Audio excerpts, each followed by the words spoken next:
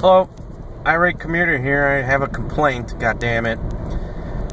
Have any of you assholes ever been on a date and you're ordering food and you sit down, you get your food, and then your date says, "Oh, yours looks so good. Let me try some of it."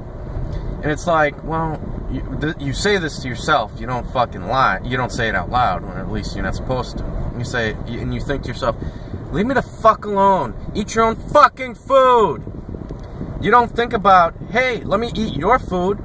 I recently went to this new barbecue place. I don't fucking remember where it was at. I think it was in Oak Brook. Uh, it just opened up. Anyways, they, there's this two meat combo meal.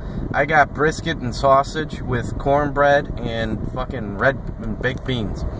And then the girl I was with, she got the two meat combo also brisket and uh, pork baked beans and macaroni.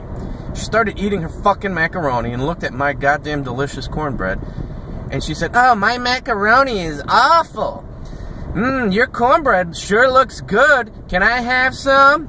And I looked at her and I and I said, Well, you know, I was trying to be nice and I just said to her, Look, uh, I want to eat mine.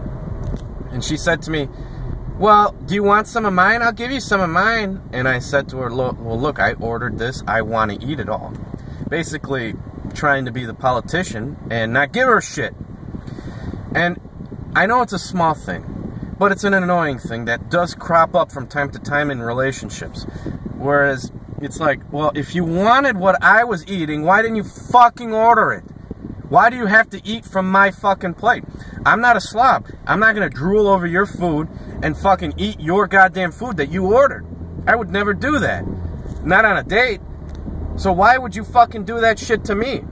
Anyways, it's just a minor fucking thing that really aggravated me at the time. Because some people just don't have fucking manners. Anyways, have a good one.